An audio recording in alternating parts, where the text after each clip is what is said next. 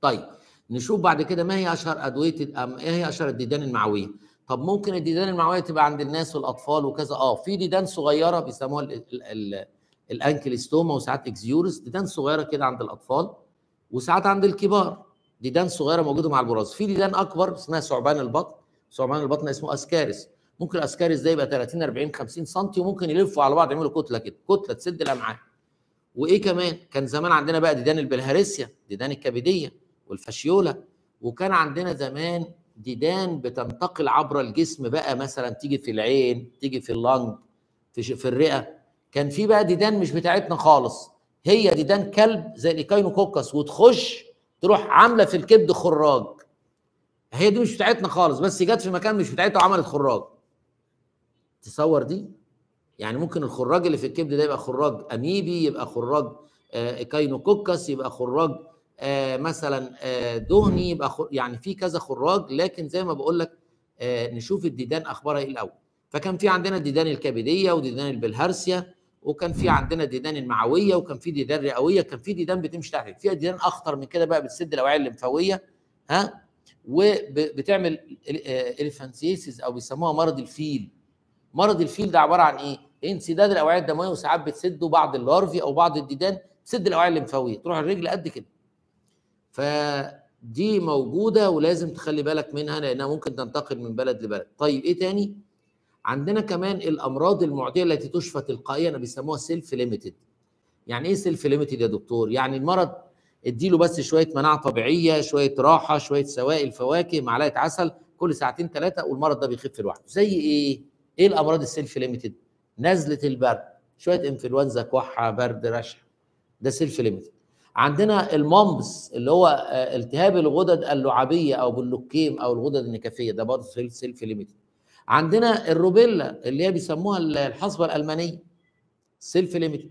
عندنا حاجة اسمها ال herpes simplex الهربس ده عبارة عن إيه؟ الفقاقيع اللي بتطلع في البق. هربس وساعات يعمل shingles وساعات يعمل حزام ناري. المفروض إن هو self limited. خلي بالك. يبقى عندنا أمراض self limited؟ أيوه عندنا أمراض بتشفى ذاتيا. طب إيه شروط تشفى؟ يعني الحصبة مثلا. كان زمان يقول لك في مرض زي الجديري ال chicken pox مثلا. خلاص؟ أو small pox. ال small pox أو الجديري كان مشهور قوي عند الأطفال. يلاقي فقاقيع كده في الجلد وبعدين تفتح تجيب شوية مية ولا شوية سائل ملتهب. وتعمل. الجديري ده بيقعد أسبوعين ثلاثة ويخف. الحصبة جسمه كله محمر كده وعينيه حمراء وتسيبه كده شوية أسبوعين ثلاثة شوية عسل كل ساعتين شوية سلطة خفيفة حاجات بسيطة ندلك له جلده كده بإيه؟ بمغلي قرنفل بيخف لوحده. يعني في أمراض self-limited الشيء الغريب إن إحنا ساعات بيبقى بعض الأمراض الفيروسية self-limited زي مثلا Epstein-Barr virus مثلا. ساعات يلهب الغدد الليمفاويه وساعات يلهب الخصية. ودي كارثة كبيرة لما يجي لك طفل عنده ست سنوات وعنده التهاب في خصيه. طبعا ده ملوش دعوة بالجنس ولا البتاع ولا ده عنده cancer testis لكن بعض الدكاترة يقول لك لا نشيل الخصية ونعمل مش عارف إيه وإشعاع وكيماوي ده عيل عنده ست سنين وكرات الدم البيضاء بتاعته مظبوطة وسرعة الترسيب مظبوطة وصحته حلوة. طب هو عنده التهاب في الخصية لازم يكون cancer ولا ممكن يكون حاجات تانية؟ لكن إحنا بنجيب من الآخر برضه عشان نخرب بيت أم العيانين واللي جابوهم ها؟ ونضيع الدنيا. والأم والأب يعيطوا بقى وكده. فعندنا أمراض بيسموها self-limited أو الأمراض التي تشفى تلقائيا. سهلة؟ زي الأمراض الفيروسية. طيب عندنا كمان أمراض معدية تشفى زي فيروس الهربس الجديري اللي هو بيعمل فقاقيع عند الأطفال فيروس الحصبة الألماني ال rubella الحصبة العادية ال measles. عندنا كمان فيروس الغدد اللعابية ال mumps. وعندنا كمان أهو مكتوب هنا ال rubella وال measles وال mumps والحاجات دي وفيروس الغدد اللي هو ال Epstein virus وال infectious mononucleosis طيب إيه تاني عندنا امراض معديه؟ في امراض اسمها امراض الحمى الدمويه. يعني إيه حمى دمويه؟ يعني هو بيبقى سخن وينزف دم.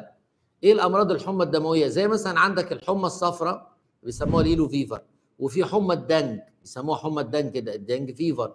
ودي طبعا فيروسات كلها. في فيروس الإيبولا وده برضو يعمل احمرار في العين والجسم ويشرشر دم في ال Lassa virus وفي الحاجة اسمها ال B 19 أو الفيروس رقم 19 وده برضو ممكن يكون المرض الخامس وده ممكن يعمل لنا حمى دموية. الحمى الدموية دي فيروسات بتنقلها حشرات فيران تراب تلوث موجودة في العالم وساعات بتنتشر بصورة وباء. برضو دي ممكن تنتشر عن طريق السفر. إيه تاني عندنا؟ عندنا أمراض منتقلة بالجنس.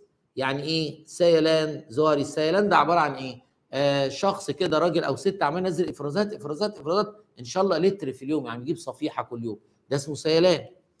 وفي آه يسموه gonorrhea. وفي زهري السفلس ده بيعمل بقعه عاملة زي الزهرة كده. والصفر دي في primary وفي secondary وفي tertiary وممكن يعني يوصل للأبناء.